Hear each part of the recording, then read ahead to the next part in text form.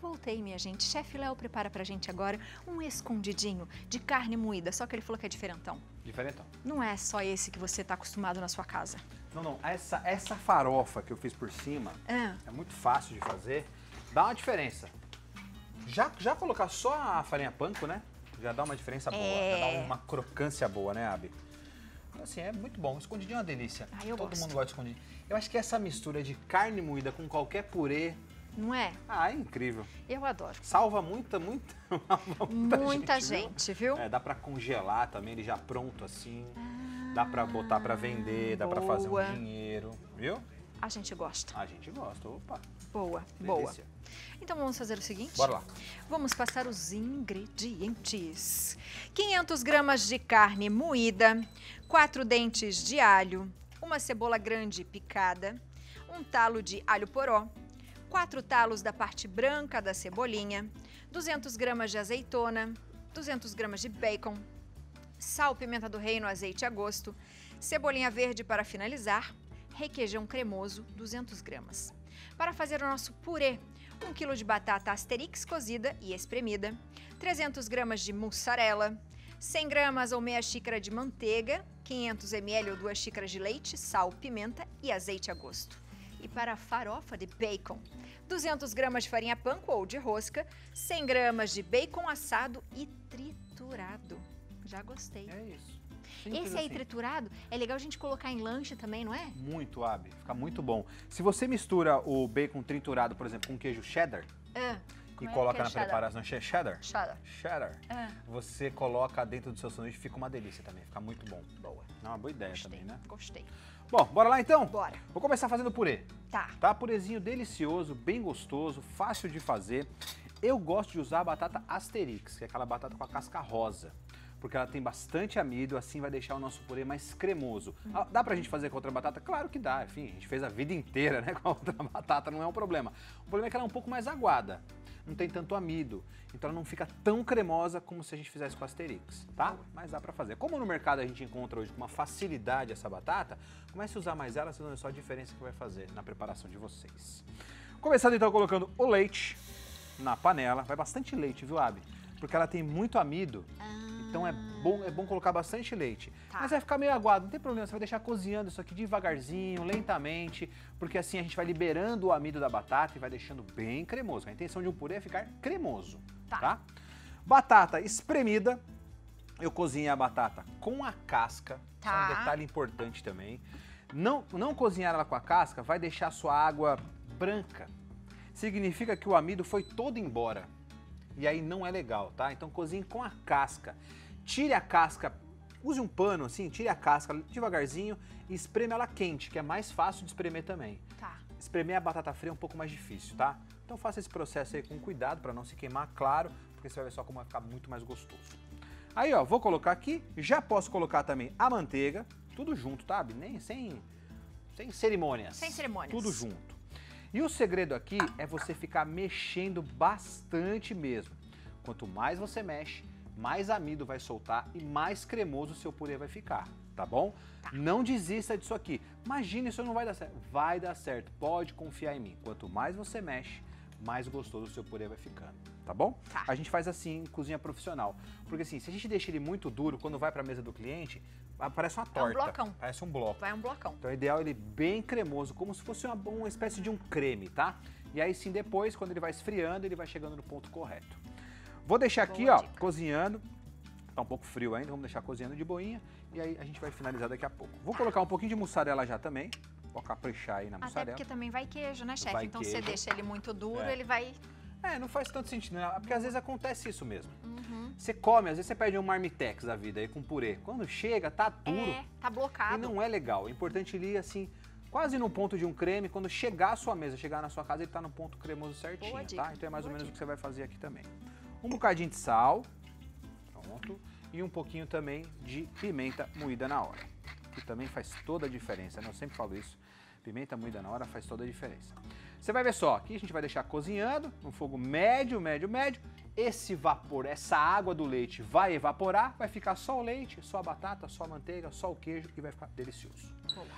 Enquanto isso, vamos para o lado aqui fazer a preparação da- do nosso recheio do escondidinho, Da carne tá? moída. Da carne moída, exatamente isso. Que é super versátil. Não quiser fazer com escondidinho, faça para congelar a carne. Faz como eu faço na minha Ah, é. casa. Eu faço um panelão de carne moída, congelo e deixo o alimento para semana inteira lá em casa. Até Ontem você fala, o que, que tem de almoço? Carne moída. Carne de moída. janta, carne moída. Carne moída. É isso. É isso. E eu faço uns panelão mesmo, que é, que é para não faltar carne moída em casa. Vou colocar o bacon, um pouquinho de azeite. É sempre importante colocar o azeite também para incentivar um pouco né, o, o bacon a liberar a sua gordura. Posso colocar aqui o alho.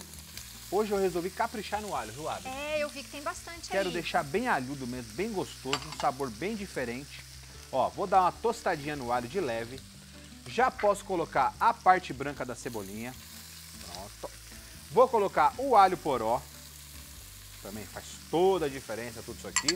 E vou pôr a cebola. Pode estar se perguntando, "Pô, Léo, tá de luva por quê? Hoje aconteceu um acidente em casa, menina. Cortei meu braço, minha mão, É, uma cortadinha na mão. Mas acontece. que ruim, Acidentes hein? caseiros. Cuidado, viu, gente? É. Cuidado. Coisas acontecem.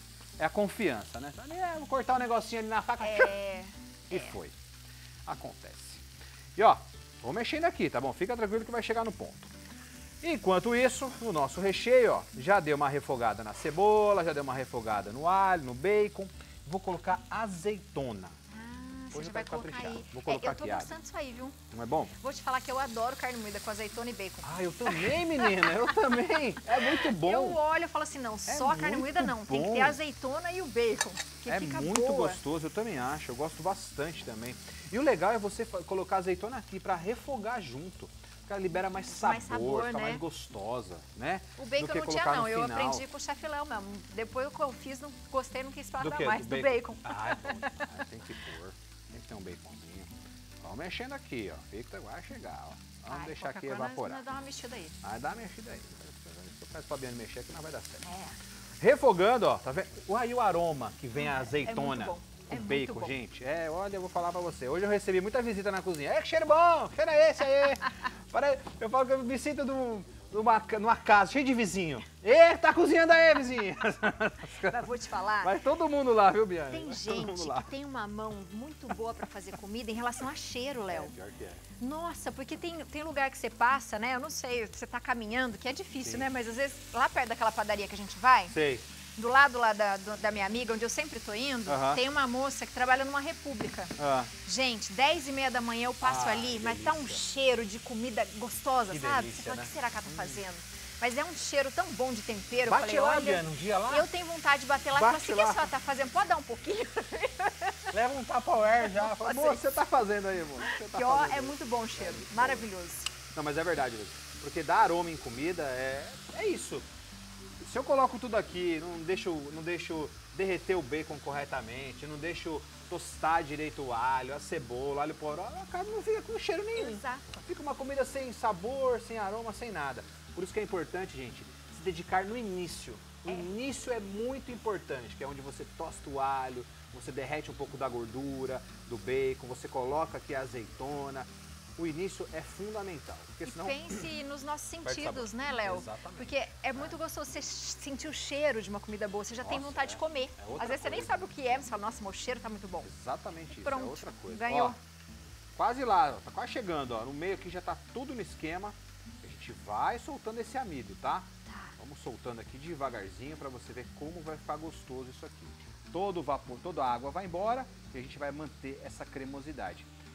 Lembrando, tá, gente? Não é legal eu colocar de uma vez, colocar o purê no ponto certo para colocar em cima do escondidinho. Não é o correto. É o correto a gente fazer dessa forma mesmo, deixar ele um pouquinho mais mole, tá?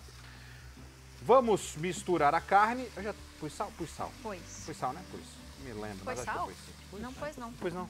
Botar um pouquinho de sal então. É, não Pronto. pôs não. Agora Tava sim. aí, mas dá outra. Agora sim é verdade, um pouquinho de sal.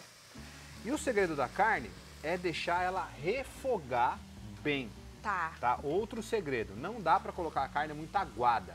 Se a gente põe a carne muito aguada no escondidinho, vai ficar nadando, vai soltar muita água. A intenção não é essa, a intenção é refogar bem e fritar novamente. Toda essa água aqui, ó, tem que ir embora. Tá. Porque se eu coloco ali, cubro ela com, com purê, vai cozinhar essa carne. A gente não quer que ela cozinhe, a gente quer que ela fique bem assada e bem saborosa, tá bom? E tira cheiro também de carne, né? É, pois é, É, que é eu também importante. não gosto. Não é, faz toda a diferença, É, não faz faz? diferença. Eu também acho, viu? Eu também acho. Você, você tocou no ponto correto É. agora. Esse líquido, às vezes, fica com um pouco de cheiro mesmo de carne, né? Um pouco do- daquele cheiro da carne muito forte. Por isso que é importante fritar a carne de novo. E assim ela também libera a gordura, deixa mais gostoso. É o que a gente falou. Se dedica a esse momento. Não faça muito correndo, não, porque senão. Vai dar muito bom, não, tá? É, não vai funcionar? Vai. Comida vai é amor. Por mais Comida que é a gente amor. às vezes não tenha tempo, faz alguma coisa que você sabe fazer que é rapidinha, mas com amor. Que Exatamente. tem outro sabor, viu? E aí? Já, já pegou, Ó, ó. perfeito. Que maravilha, gente. Tá lindo demais. É isso aí. E vou te falar, Esse é esse aqui, ponto. esse aqui já deu. Ó, eu também acho. né?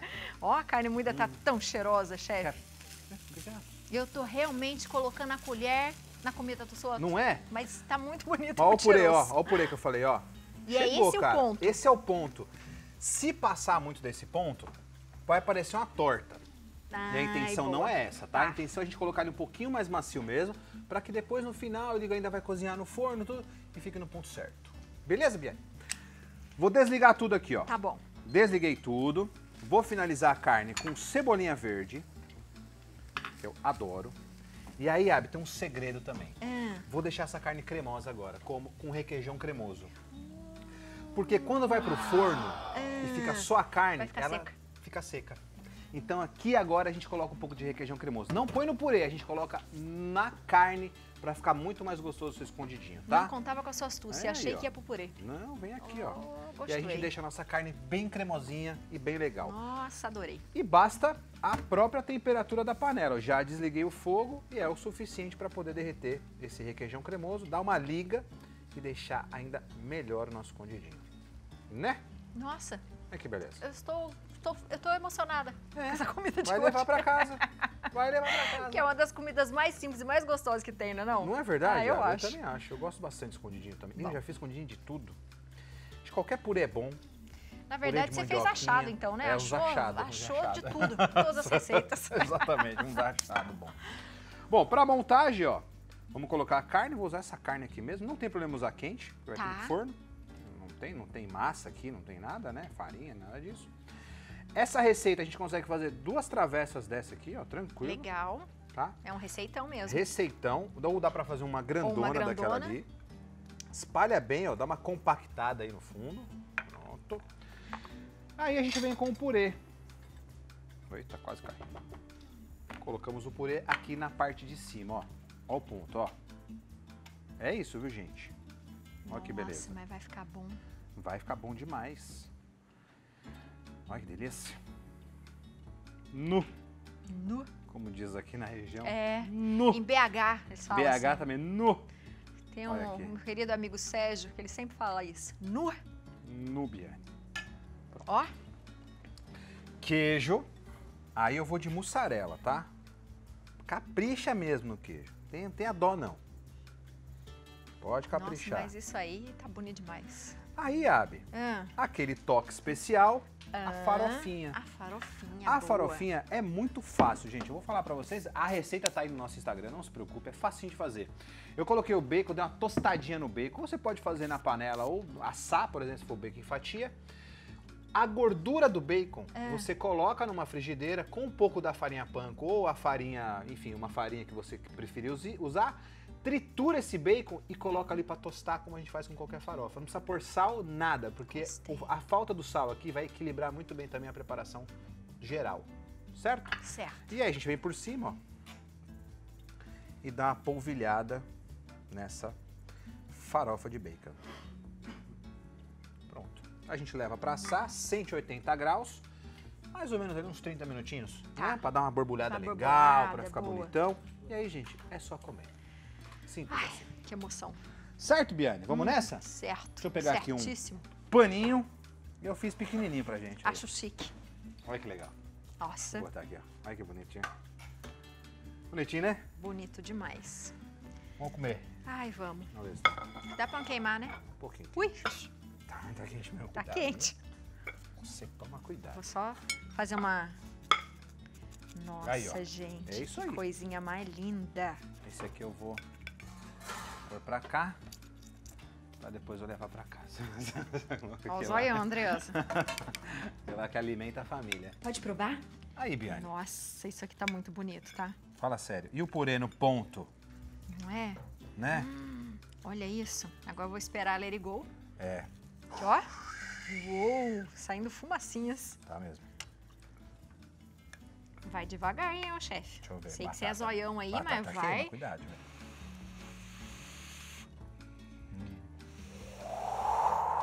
Boa.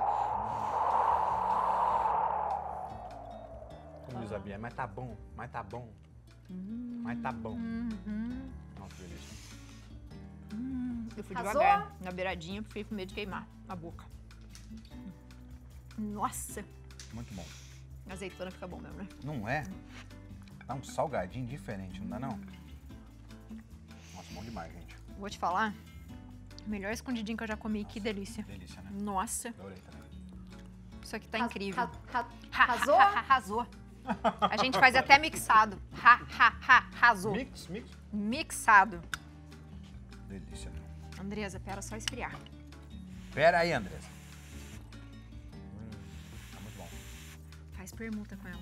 É, Mais uma colherada, uma marmita. um minuto, É, uma marmita. é, Fechou? permuta. Fechou. Aí, ó, ganhamos.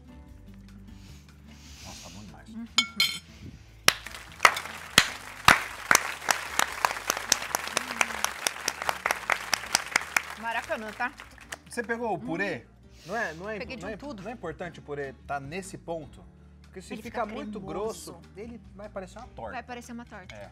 E ele Viu? fica cremoso. E o sabor de um com o outro ali, ó, é incrível. O queijo. Perfeito, perfeito. Adorei.